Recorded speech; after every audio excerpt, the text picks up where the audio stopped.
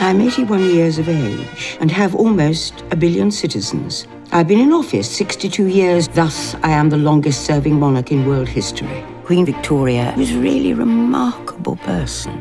And she's quite a wonderful, indomitable lady. Here! It's a sweet story about a woman who was selfish. She did a lot of things wrong, but she was desperate for company. There's another famine in India. Prime Minister, you really are terribly depressing. Yes. Abdul, you will travel to England to present the Queen with a ceremonial coin as part of the Jubilee. I knew the name Abdul Karim, but I didn't know about the actual true story. She suddenly meets this young man and thought, oh, how lovely, somebody at last to talk to. Abdul was a boy who, who dreamed. It changed his life the way he knew it. She becomes invigorated. I suddenly feel a great deal better. I think she adored him, just adored him. What on earth does she see in him? Well, he is rather handsome.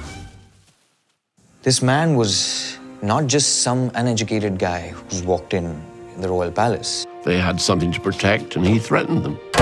Lady Churchill was absolutely scandalized, sitting next to a servant. Abdul is a Muslim scholar, and for your information, is a servant no longer. It was a story that I hadn't heard much about.